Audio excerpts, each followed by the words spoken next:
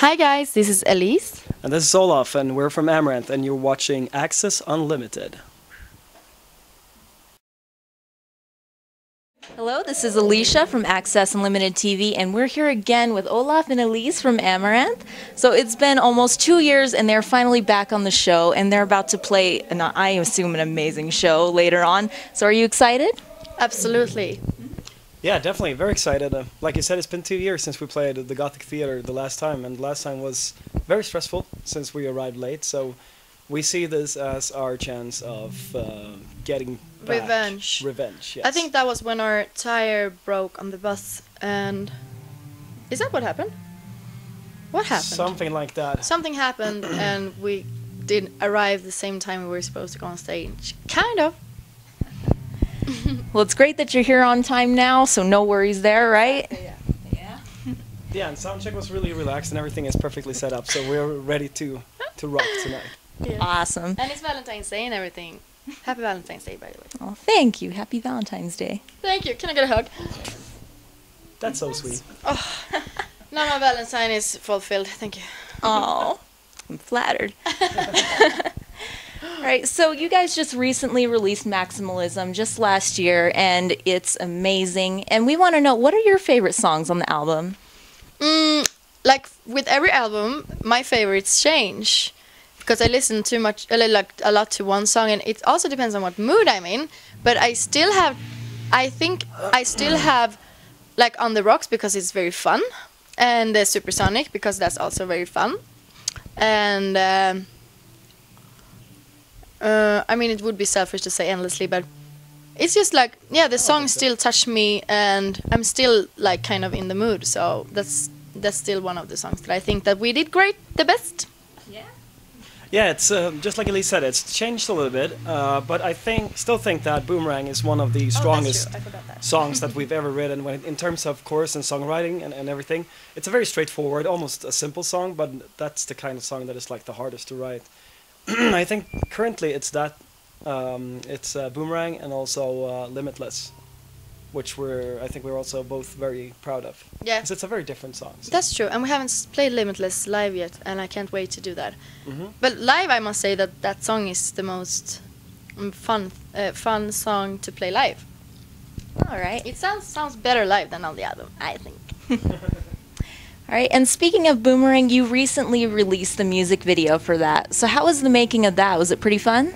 Uh, it's always very fun. Uh, although, actually, I can reveal that I didn't sleep at all before the recording because there is always early mornings, and we we always talk about it like, why do we have to be here early in the morning?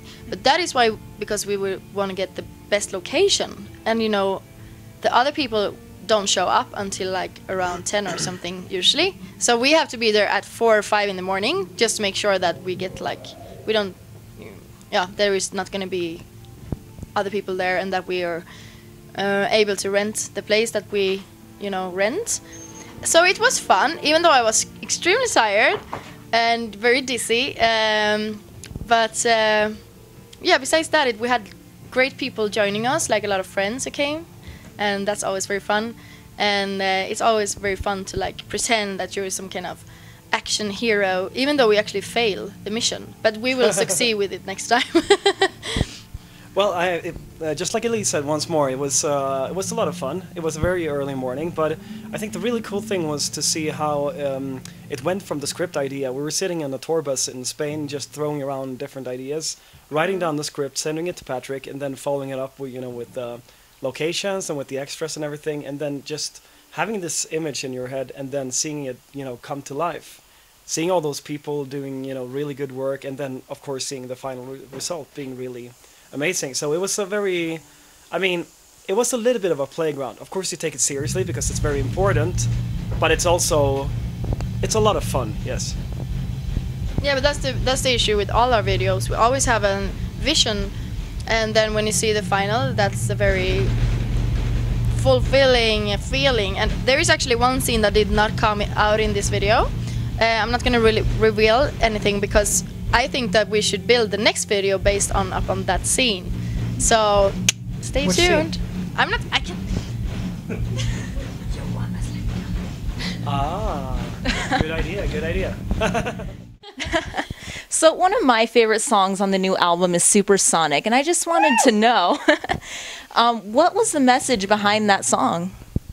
Um, I think there is like uh, I would say that there is a lot of different messages in it, uh, but the, the whole song came uh, uh, to life based on a melody I was singing on the tour bus, on our previous US tour, and it was a very annoying melody, but I still thought that we could make such a cool song out of it, and it's like this.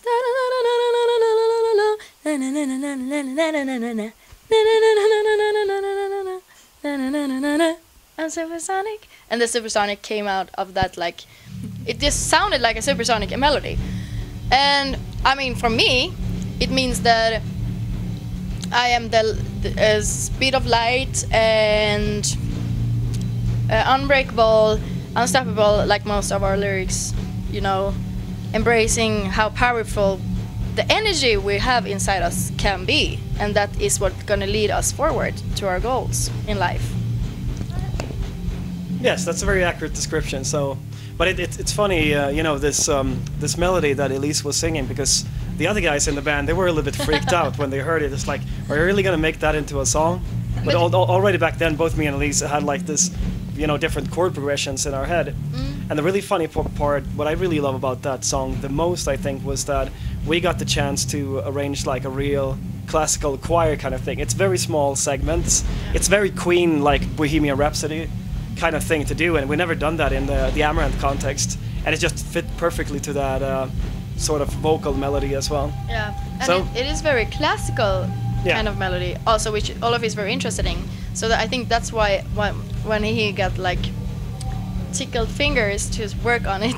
Exactly, exactly. and I I- mean, we usually yeah. work on things, uh, and they maybe don't end up on the album even. But we, because we love to write music, and that's what we, you know, enjoy the most. And so even like the most stupid ideas can, you know, become someone's favorite song.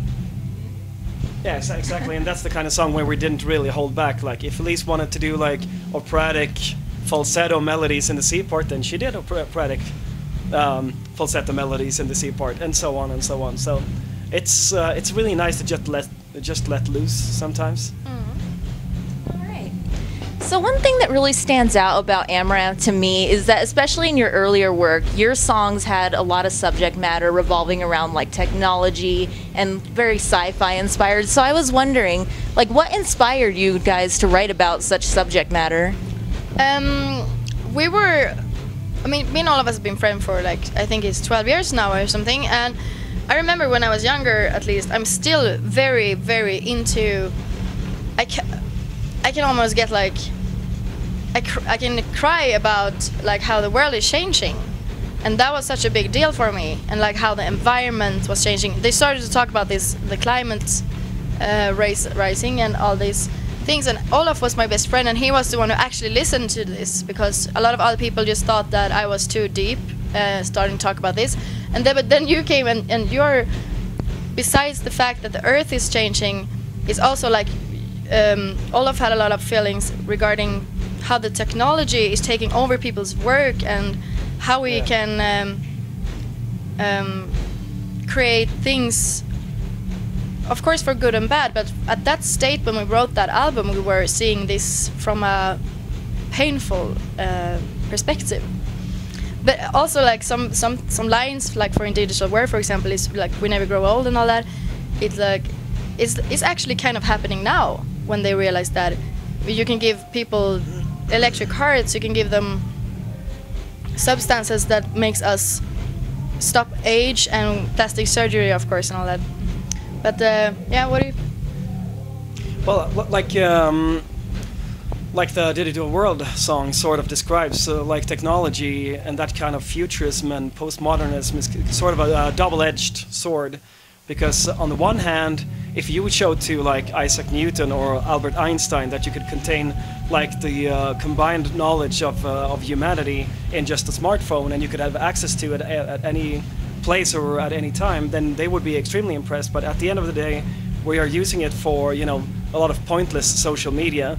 So if you walk into a cafe like in, in Denver or Englewood, there will be a lot of youngsters just instead of interacting with each other, they will just you know watch random cat videos instead on, on, on Facebook. So there's a lot of good things that comes with technology, and I think that the Digital World song describes that, and it's also a little bit of a, a sarcastic or ironic thing because we are sort of a digital band with a lot of uh, keyboards and stuff like that, but our hearts are very undigital. If you know what I mean, very analog. So, and al- also for the two uh, first albums, we wanted to have like this story to uh, you know inspire us to write lyrics and stuff like that. But with the latest couple of albums, and especially the latest album, we wanted to make it a lot more personal. So there's a lot less of the whole you know sci-fi theme. I think, but that is because we got it out of our system.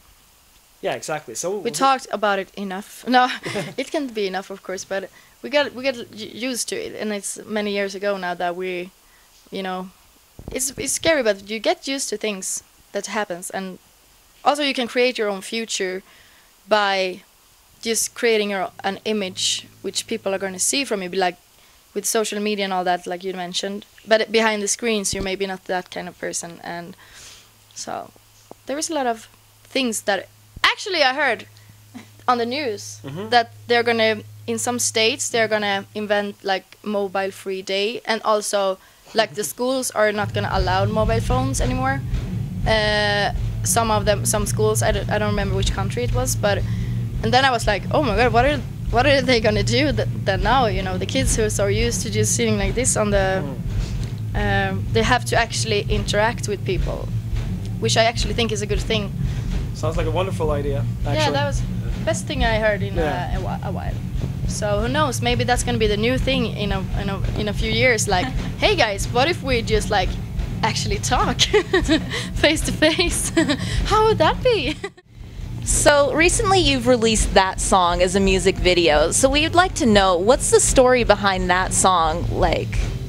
What's going on in the music video? Is it inspired by like real life events that you've experienced? Yes, yes. It's about. We sat down and we thought about like what we achieved and who we became lately and how we used to, who we used to be bef- before the band, and um, and then we yeah that's that's what inspired us to write the the, the, the lyrics and and then like music wise uh, we started to talk if we would have some kind of organic sounds like clap and stomp so that people in the audience could actually be involved you know and um, um, yeah then Olof thought like yeah why not just build the whole song based upon that? And then he tried out different riffs and uh, we thought it was cool with just like long chords for once because Amaranthe is usually so fast and yes he's a yeah. very technical amazing metal guitarist but I think this goes more towards like rock. And it's just to make things simple like how how life used to be. It used to be more simple than it is than, than it actually is now. Now it's just so complicated. Uh, so this yeah it refers to our, our past and how who we used to be. And i was this kind of girl who was uh, having my, my my girlfriends and we wanted to start a group like with and we danced and we we did those kind of things actually. And so Yeah, precisely. I mean, I didn't necessarily get uh, got wine Yeah. thrown in my face, but it was close a couple of times. But I did play a lot of very crappy uh, piano shows and stuff like that. I mean, it's it's funny when you see that video because it really actually makes me think of you know how it used to be and what it's like now. Because sometimes you get a little spoiled, if you know know what I mean, and you have several hundreds of people buying tickets on pre-sales, but you're still thinking that maybe we sh- should be able to go higher maybe we you know should be able to sell even more tickets blah blah blah blah. And it's sometimes it's hard to appreciate what you already have achieved because you're always looking into the future. So i think it was a healthy thing for us to to just look back a little bit. Because for example playing an acoustic guitar show or a piano show where there's like 18 people in a room and nobody gives a damn and they just think that you're disturbing their conversation i mean i do remember what it felt like and it was not a whole lot of fun it's a lot more fun being here at the gothic theater in englewood Yeah, absolutely. And and like I said, I actually come from a very small city, so it was like I moved to the big city, and it was very hard to fit in. And I always try to do that until I realized what I really wanted to do, and that being having this job is already a place where you usually don't fit in with the norms. All right. So we know that recently Jake has left the band, which is very sad, but we also know that Chris has been filling in for quite some time. So how long has he been filling in? I think the first show that he stepped into must have been the USA tour that we did towards the end of 2015. Yeah, so, So- it's almost two years. Is- yeah, uh, at least One and a yeah, half? one. Yeah, it's closing into one and a half. Yeah. So, but no final decisions have been, uh, you know, taken regarding uh, Chris Adam. But we're enjoying this experience, you know, being on tour together, and it's not like we're in a super big hurry to uh, to get a permanent replacement because we need to be hundred percent certain. Yeah, I mean You we're know. going. We have gone through this uh, kind of change before. Actually, when Andy was taking time off because he got a kid, and we had Henrik as a replacer, and then he just kind of like Hen Andy faded out and Hen Henrik faded in. Uh, we don't know if this is going to be the the situation now, because he has smashed into pieces and he's very like devoted to his own project, which we respect and it's really hard to find like really great singers these days but if there is someone out there who wants to be explored you can send us a link All right. For all those male vocalists out there, definitely hit them up. Into or write actually So recently you were on the 70,000 tons of metal cruise. How was that? oh, that's like no words i mean i was in heaven uh, Yeah, it was just fantastic. I mean, I've heard so much ab- about it, and I've just figured because we've done like what is it, 20, 25 cruises before, going uh, you know through you know northern locations up in Scandinavia, and it hasn't really been a lot of fun because you're stuck with so, so many people, and the atmosphere can be a little bit you know intense. And we were thinking that I mean, I was thinking at least that okay, it looks really great to go to Haiti. Uh, but still, it's going to be like four or five days with a lot of metal people on you know on a small boat but just everything about it, like the atmosphere and the bands that play there and the fans themselves. Everybody was like really respectful and cool guys to hang out with. And once again, to go to, to Haiti, I think we had one of our best days in our entire life. You know, just laying there in a lagoon, relaxing, having a drink, and you know, just enjoying the sunshine, and then getting thoroughly sunburnt as well. i actually did not get sunburned. The rest of the band burned because they didn't use sun protection i did. And also I have to mention I, I got the chance to play one show actually two shows with Kamelot again. And Alissa White-Gluz was there because arch enemy also played the cruise. So i was surrounded by like great old friends.